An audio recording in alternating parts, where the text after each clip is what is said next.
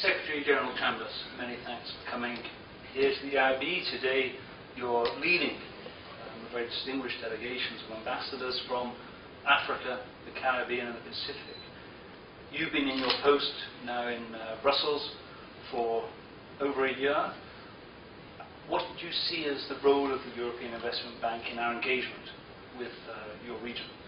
There's no question that the European Investment Bank, EIB, is uh, one of the strong elements of the partnership between the ACP and the EU. And um, you can see from the large turnout of ambassadors uh, and other dignitaries to today's function that there's a lot of interest in the good work that the EIB is doing in many of our member states and regions. And uh, we want to see this uh, further strengthened, see uh, areas in which uh, this can be expanded. But um, we're very you know, pleased with the, uh, of course, the interest also that EIB is showing.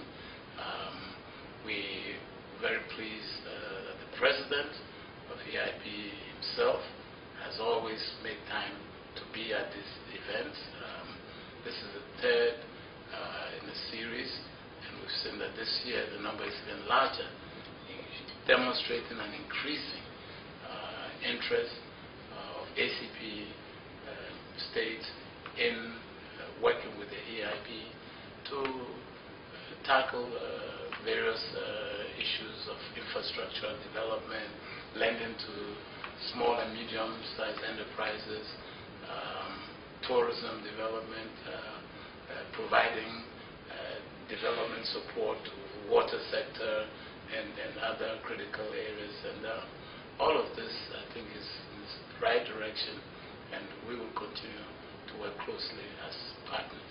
Thank you. In your opening address, um, to start this, today's meetings, you talked about a number of global challenges. There are economic issues in Europe, but in countries around the world. How do you think the European Investment Bank can best contribute to specific challenges? What do you think are the priorities for ACP countries for the next year or two? Uh, what we have seen is in spite of the global financial uh, crisis, that the ACP countries have recovered rather strongly. And so the challenge is to see how we can work with the EIB to maintain this momentum of growth that we are seeing across the ACP regions. Uh, of course, it's, stronger in some countries than others.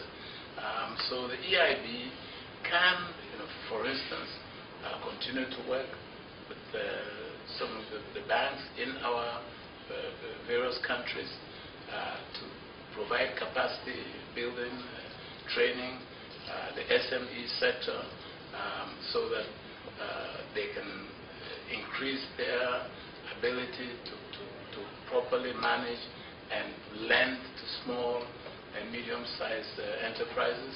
Um, some of the work that is being done, for instance, uh, in infrastructure.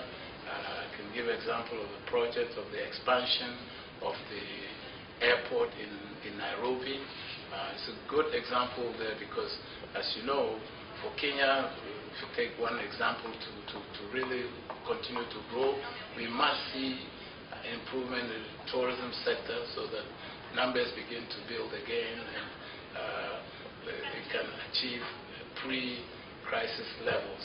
Um, but uh, it's a range of areas. In, in Uganda, the support is to the water sector, uh, which is, is, very important, uh, water uh, sector in, in Nairobi. But uh, the other concept uh, which we find very appealing mutual reliance uh, concept where EIB is working with other partners who are also in our ACP countries, ACP regions, partners such as KfW, of Germany, Agence France Development, and others. Uh, we think that this kind of collaboration uh, will bring the necessary or at least the required resources together to tackle some of the projects which we urgently see, uh, want to see take off the ground. Thank you. Do you think the European Investment Bank we work closely with big institutions, uh, very large projects. Do you think we can make a difference on the ground in terms of individual quality of life and meaningful development in smaller areas without the, the million?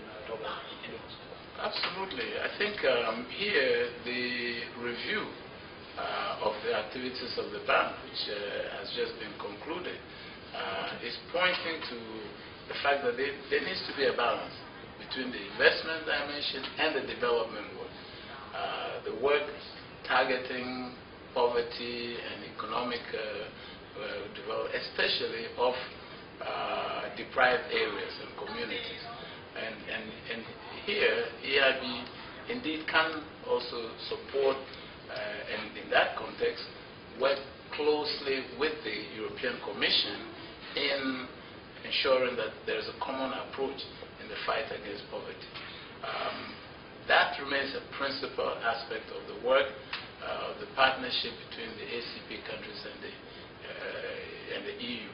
And so the European Development uh, Investment Bank can be a partner in this common fight against poverty.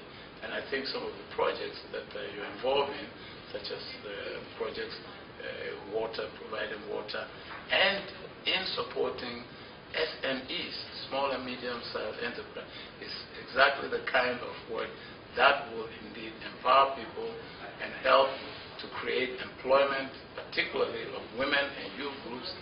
And I believe that that's the, the way to, to go forward in the fight against poverty.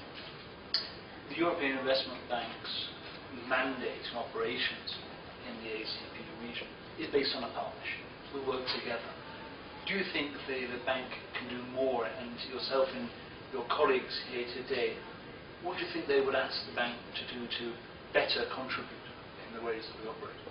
One of the areas that uh, us that we look at is uh, in the mineral sector. Because if you take a continent such as Africa, huge mineral potential, we see a lot of activity there. So there's scope there for, to support investments also investment of local entrepreneurs in partnership with European entrepreneurs. Uh, also uh, supporting uh, investments in value chain addition because that's one way in which can generate more employment and increase uh, earnings uh, for uh, ACP peoples. And I think also that we can explore the, the, the idea of uh, an instrument, an all ACP financial instrument, which we would like, or vehicle, which we would like to establish with uh, technical support from the EIB, and in which maybe we can open it up to other uh, emerging uh, uh, economies to come, as it were, to partner with Europe and ACP in providing much needed capital for economic development, for investment in many areas that hold huge potential for wealth generation, for improving opportunities, and for maintaining le level of growth which we are witnessing, which is really healthy if indeed we're to begin to see our countries emerge out of poverty and become strong economies. And one final question, uh, Mr. Chambas. Looking ahead, how optimistic are you about the EIB's role in Africa and how we will improve not only current activities but also for future generations, for your children?